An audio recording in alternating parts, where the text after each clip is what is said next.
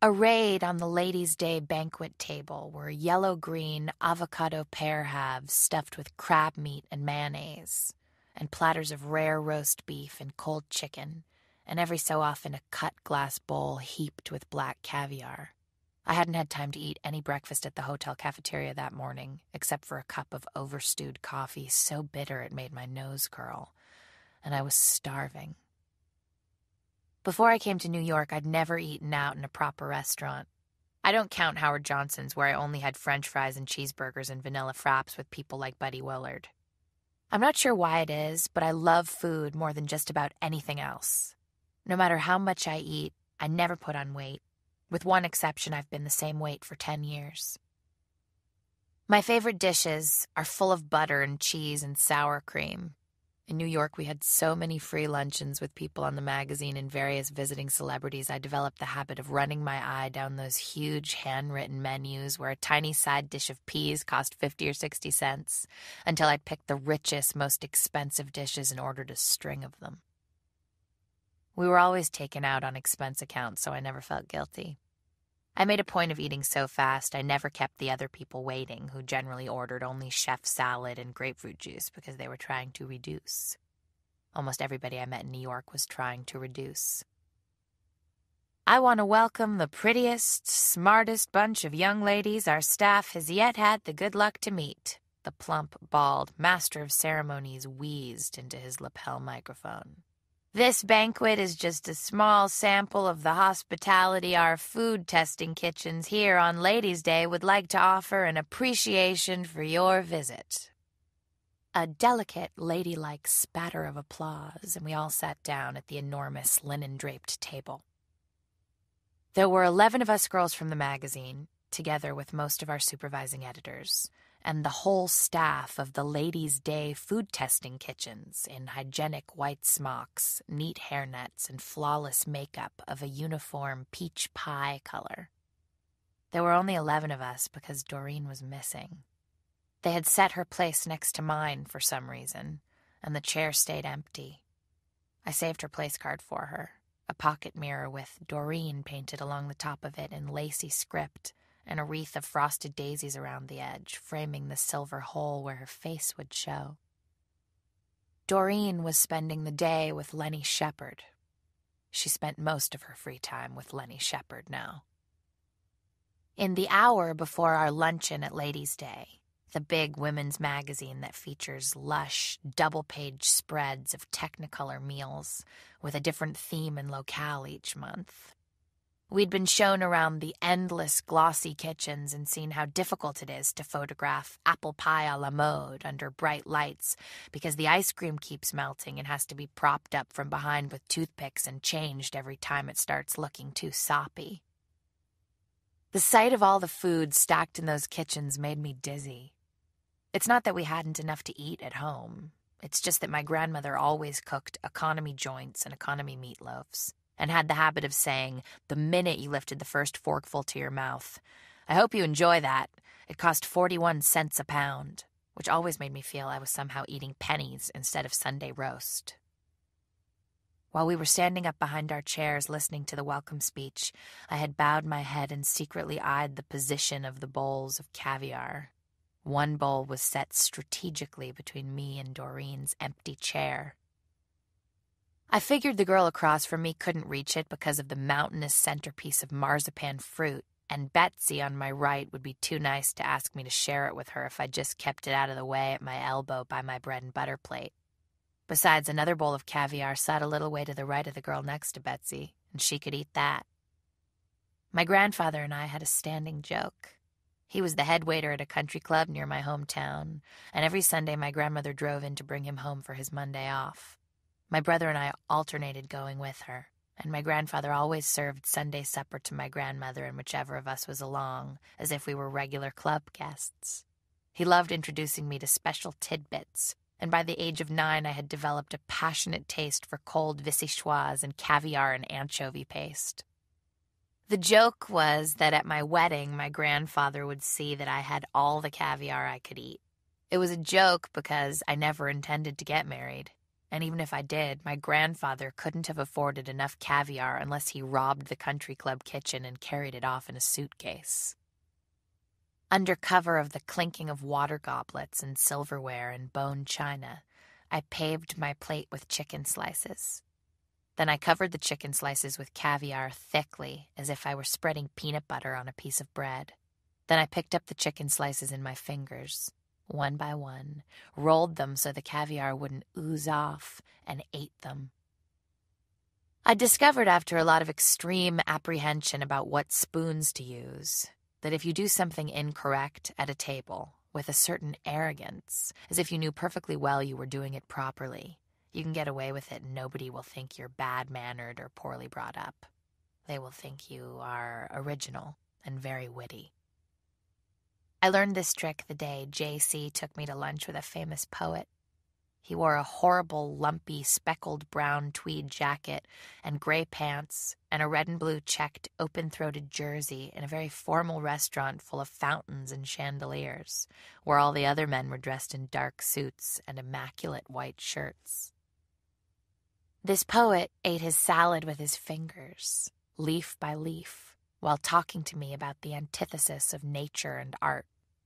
I couldn't take my eyes off the pale, stubby white fingers traveling back and forth from the poet's salad bowl to the poet's mouth, with one dripping lettuce leaf after another. Nobody giggled or whispered rude remarks. The poet made eating salad with your fingers seem to be the only natural and sensible thing to do. None of our magazine editors or the Ladies' Day staff members sat anywhere near me, and Betsy seemed sweet and friendly. She didn't even seem to like caviar, so I grew more and more confident. When I finished my first plate of cold chicken and caviar, I laid out another. Then I tackled the avocado and crab meat salad. Avocados are my favorite fruit, Every Sunday, my grandfather used to bring me an avocado pear hidden at the bottom of his briefcase under six soiled shirts and the Sunday comics. He taught me how to eat avocados by melting grape jelly and French dressing together in a saucepan and filling the cup of the pear with the garnet sauce. I felt homesick for that sauce. The crab meat tasted bland in comparison. How was the first show? I asked Betsy when I was no longer worried about competition over my caviar. I scraped the last few salty black eggs from the dish with my soup spoon and licked it clean. It was wonderful, Betsy smiled. They showed us how to make an all purpose neckerchief out of mink tails and a gold chain, the sort of chain you can get an exact copy of at Woolworth's for $1.98. And Hilda nipped down to the wholesale fur warehouses right afterwards and bought a bunch of mink tails at a big discount and dropped in at Woolworth's and then stitched the whole thing together coming up on the bus. I peered over at Hilda, who sat on the other side of Betsy. Sure enough, she was wearing an expensive looking scarf of furry tails fastened on one side by a dangling gilt chain. I never really understood Hilda. She was six feet tall, with huge, slanted green eyes and thick red lips, and a vacant Slavic expression. She made hats. She was apprenticed to the fashion editor which set her apart from the more literary ones among us, like Doreen and Betsy and I myself, who all wrote columns, even if some of them were only about health and beauty. I don't know if Hilda could read, but she made startling hats. She went to a special school for making hats in New York, and every day she wore a new hat to work, constructed by her own hands out of bits of straw or fur or ribbon or veiling in subtle, bizarre shades. That's amazing, I said. Amazing. I missed Doreen. She would have murmured some fine, scalding remark about Hilda's miraculous fur piece to cheer me up. I felt very low. I had been unmasked only that morning by J.C. herself, and I felt now that all the uncomfortable suspicions I had about myself were coming true, and I couldn't hide the truth much longer. After 19 years of running after good marks and prizes and grants of one sort and another, I was letting up, slowing down, dropping clean out of the race. Why didn't you come along to the first show with us? Betsy asked. I had the impression she was repeating herself and that she'd asked me the same question a minute ago, only I couldn't have been listening. Did you go off with Doreen? No, I said. I wanted to go to the first show, but JC called up and made me come into the office. That wasn't quite true about wanting to go to the show. But I tried to convince myself now that it was true so I could be really wounded about what JC had done. I told Betsy how I'd been lying in bed that morning planning to go to the first show. What I didn't tell her was that Doreen had come into my room earlier and said, What do you want to go to that assie's show for? Lenny and I are going to Coney Island, so why don't you come along? Lenny can get you a nice fellow. The day's shot to hell anyhow with that luncheon and then the film premiere in the afternoon, so nobody'll miss us. For a minute, I was tempted. The show certainly did seem stupid. I've never cared for furs. What I decided to do in the end was lie in bed as long as I wanted to, and then go to Central Park and spend the day lying in the grass, the longest grass I could find in that bald, duck ponded wilderness. I told Doreen that I would not go to the show, or the luncheon, or the film premiere, but that I would not go to Coney Island either. I would stay in bed. After Doreen left, I wondered why I couldn't go the whole way doing what I should anymore. This made me sad and tired. Then I wondered why I couldn't go the whole way doing what I shouldn't the way Doreen did, and this made me even sadder and more tired. I didn't know what time it was, but I'd heard the girls bustling and calling in the hall and getting ready for the first show. And then I'd heard the hall go still. And as I lay on my back in bed, staring up at the blank white ceiling, the stillness seemed to grow bigger and bigger until I felt my eardrums would burst with it. Then the phone rang. I stared at the phone for a minute. The receiver shook a bit in its bone colored cradle, so I could tell it was really ringing. I thought I might have given my phone number to somebody at a dance or a party and then forgotten about it. I lifted the receiver and spoke in a husky, receptive voice. Hello? JC here, JC rapped out with brutal promptitude. I wondered if you happened to be planning to come into the office today. I sank down into the sheets. I couldn't understand why JC thought I'd be coming into the office. We had these mimeographed schedule cards so we could keep track of all our activities, and we spent a lot of mornings and afternoons away from the office going to affairs in town. Of course, some of the affairs were optional. There was quite a pause. Then I said meekly, I thought I was going to the first show. Of course, I hadn't thought any such thing, but I couldn't figure out what else to say.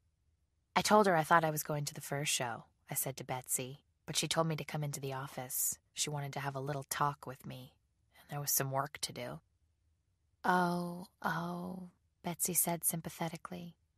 She must have seen the tears that plopped down into my dessert dish of meringue and brandy ice cream, because she pushed over her own untouched dessert, and I started absently on that when I'd finished my own. I felt a bit awkward about the tears, but they were real enough. JC had said some terrible things to me. When I made my wan entrance into the office at about 10 o'clock, JC stood up and came round her desk to shut the door, and I sat in the swivel chair in front of my typewriter table facing her, and she sat in the swivel chair behind her desk facing me, with the window full of potted plants, shelf after shelf of them, springing up at her back like a tropical garden. Doesn't your work interest you, Esther? Oh, it does, it does, I said. It interests me very much. I felt like yelling the words as if that might make them more convincing, but I controlled myself. All my life, I'd told myself studying and reading and writing and working like mad was what I wanted to do. And it actually seemed to be true. I did everything well enough and got all A's, and by the time I made it to college, nobody could stop me. I was college correspondent for the Town Gazette, an editor of the literary magazine, and secretary of honor board, which deals with academic and social offenses and punishments, a popular office and I had a well known woman poet and professor on the faculty championing me for graduate school at the biggest universities in the East, and promises of full scholarships all the way. And now I was apprenticed to the best editor on an intellectual fashion magazine, and what did I do but balk and balk like a dull cart horse? I'm very interested in everything. The words fell with a hollow flatness onto JC's desk, like so many wooden nickels. I'm glad of that, JC said, a bit waspishly. You can learn a lot in this month on the magazine, you know, if you just roll up your shirt sleeves. The girl who was here before you didn't bother with any of the fashion show stuff. She went straight from this office onto Time. My, I said, in the same sepulchral tone. That was quick. Of course, you have another year at college yet, JC went on a little more mildly. What do you have in mind after you graduate? What I always thought I had in mind was getting some big scholarship to graduate school or a grant to study all over Europe. And then I thought I'd be a professor and write books of poems, or write books of poems and be an editor of some sort. Usually I had these plans on the tip of my tongue. I don't really know, I heard myself say. I felt a deep shock hearing myself say that, because the minute I said it, I knew it was true. It sounded true, and I recognized it the way you recognize some nondescript person that's been hanging around your door for ages, and then suddenly comes up and introduces himself as your real father and looks exactly like you, so you know he really is your father, and the person you thought all your life was your father is a sham. I don't really know. You'll never get anywhere like that. JC paused. What languages do you have? Oh, I can read a bit of French, I guess, and I've always wanted to learn German. I'd been telling people I'd always wanted to learn German for about five years. My mother spoke German during her childhood in America and was stoned for it during the First World War by the children at school. My German speaking father, dead since I was nine, came from some manic depressive hamlet in the black heart of Prussia my younger brother was, at the moment, on the experiment in international living in Berlin and speaking German like a native. What I didn't say was that each time I picked up a German dictionary or a German book, the very sight of those dense, black, barbed wire letters made my mind shut like a clam. I've always thought I'd like to go into publishing. I tried to recover a thread that might lead me back to my old, bright salesmanship. I guess what I'll do is apply at some publishing house. You ought to read French and German, JC said mercilessly, and probably several other languages as well Spanish and Italian, better still, Russian. Hundreds of girls flood into New York every June thinking they'll be editors. You need to offer something more than the run of the mill person. You better learn some languages. I hadn't the heart to tell JC there wasn't one scrap of space on my senior year schedule to learn languages in. I was taking one of those honors programs that teach you to think independently, and except for a course in Tolstoy and Dostoevsky and a seminar in advanced poetry composition, I would spend my whole time writing on some obscure theme in the works of James Joyce. I hadn't picked out my theme yet, because I hadn't got round to reading Finnegans Wake, but my professor was very excited about my thesis and had promised to give me some leads on images about twins. I'll see what I can do, I told JC. I probably might just fit in one of those double barreled accelerated courses in elementary German they've rigged up. I thought at the time I might actually do this. I had a way of persuading my class dean to let me do irregular things. She regarded me as a sort of interesting experiment. At college, I had to take a required course in physics and chemistry. I had already taken a course in botany and done very well. I never answered one test question wrong the whole year, and for a while I toyed with the idea of being a botanist and studying the wild grasses in Africa or the South American rainforests. Because you can win big grants to study offbeat things like that in queer areas much more easily than winning grants to study art in Italy or English in England. There's not so much competition. Botany was fine because I loved cutting up leaves and putting them under the microscope and drawing diagrams of bread mold and the odd heart shaped leaf and the sex cycle of the fern. It seemed so real to me. The day I went into physics class, it was death. A short, dark man with a high, lisping voice named Mr. Manzi stood in front of the class in a tight blue suit, holding a little wooden ball. He put the ball on a steep, grooved slide and let it run down to the bottom. Then he started talking about let A equal acceleration and let T equal time, and suddenly he was scribbling letters and numbers and equal signs all over the blackboard, and my mind went dead. I took the physics book back to my dormitory. It was a huge book on porous mimeographed paper, 400 pages long with no drawings or photographs, only diagrams and formulas, between brick red cardboard covers. This book was written by Mr. Manzi to explain physics to college girls, and if it worked on us, he would try to have it published. Well, I studied those formulas. I went to class and watched balls roll down slides and listened to bells ring, and by the end of the semester, most of the other girls had failed, and I had a straight A. I heard Mr. Manzi saying to a bunch of the girls who were complaining that the course was too hard. No, it can't be too hard because one girl got a straight A. Who is it? Tell us, they said, but he shook his head and didn't say anything and gave me a sweet little conspiring smile. That's what gave me the idea of escaping the next semester of chemistry. I may have made a straight A in physics, but I was panic struck. Physics made me sick the whole time I learned it. What I couldn't stand was this shrinking everything into letters and numbers instead of leaf shapes and enlarged diagrams of the holes the leaves breathe through and fascinating words like carotene and xanthophyll on the blackboard. There were these hideous, cramped, scorpion lettered formulas in Mr. Manzi's special red chalk. I knew chemistry would be worse because I'd seen a big chart of the 90 odd elements hung up in the chemistry lab, and all the perfectly good words like gold and silver and cobalt and aluminum were shortened to ugly abbreviations with different decimal numbers after them. If I had to strain my brain with any more of that stuff, I would go mad. I would fail outright. It was only by a horrible effort of will that I had dragged myself through the first half of the year. So I went to my class dean with a clever plan. My plan was that I needed the time to take a course in Shakespeare, since I was, after all, an English major. She knew, and I knew perfectly well I would get a straight A again in the chemistry course. So, what was the point of my taking the exams? Why couldn't I just go to the classes and look on and take it all in and forget about marks or credits? It was a case of honor among honorable people. And the content meant more than the form, and marks were really a bit silly anyway, weren't they, when you knew you'd always get an A? My plan was strengthened by the fact that the college had just dropped the second year of required science for the classes after me anyway, so my class was the last to suffer under the old ruling. Mr. Manzi was in perfect agreement with my plan. I think it flattered him that I enjoyed his classes so much I would take them for no materialistic reason like credit or an A, but for the sheer beauty of chemistry itself. I thought it was quite ingenious of me to suggest sitting in on the chemistry course even after I'd changed over to Shakespeare.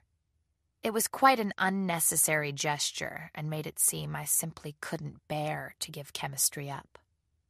Of course, I never would have succeeded with this scheme if I hadn't made that A in the first place, and if my class dean had known how scared and depressed I was a week and didn't miss a single one. Mr. Manzi stood at the bottom of the big, rickety old amphitheater making blue flames and red flares and clouds of yellow stuff by pouring the contents of one test tube into another. And I shut his voice out of my ears by pretending it was only a mosquito in the distance and sat back enjoying the bright lights and the colored fires and wrote page after page of villanelles and sonnets. Mr. Manzi would glance at me now and then and see me writing and send up a sweet little appreciative smile. I guess he thought I was writing down all those formulas not for exam time like the other girls, but because his presentation fascinated me so much I couldn't help it.